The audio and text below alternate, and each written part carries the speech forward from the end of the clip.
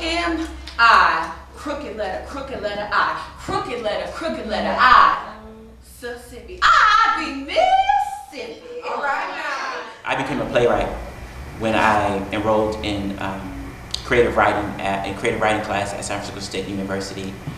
And in my poetry classes, a lot of the professors were saying these are not poems, these are plays. They encouraged me to take a playwriting class, and I did. And I knew through the first class this is what I was going to do with my life. My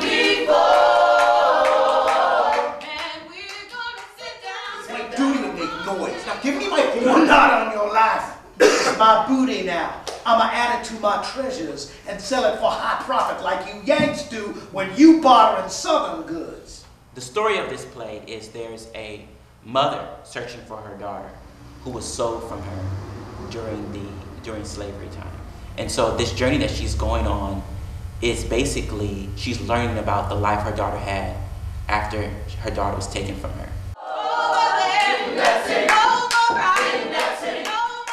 I really wanted to write a play about um, my grandmother and her father. And when I was young, my grandmother used to tell me this really amazing story about how her father freed himself and who wore a dress. Because in that, during that time, it was easier for African American woman to travel up north than it was a man. Come on, let me carry you to the hem of my skirt. It's pretty there. It's made of alluvia lace. I said I'm walking. And don't call me Demeter. My name's Damascus. Well, look who's mannish. what I really tried to do with this piece is really merge three elements that I'm obsessed with as a writer poetry, myth, and spirituality.